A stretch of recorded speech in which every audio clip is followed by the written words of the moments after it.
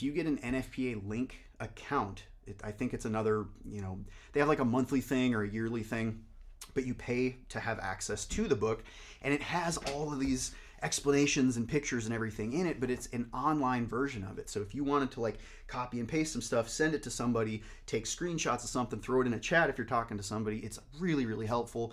Plus, there's a search feature in it. So if you're looking for like GFCI and you don't remember that it's in 210, you can just type in GFCI and then boom, it populates every instance of the word GFCI. And it just helps you like really navigate code and find things quickly and easily. So if it were me again studying to take my license, my, my exam, I would have the NFPA link thing. I would have a handbook and I would have the actual book that I'm going to be taking in. I'm not sponsored in any way by NFPA. This isn't me trying to like hawk their merch on you. I'm just saying, as somebody trying to study, I want to know as much as possible. So I'm going to try to get as many resources as possible. And just keep in mind, every three years, you're going to have to buy it all again.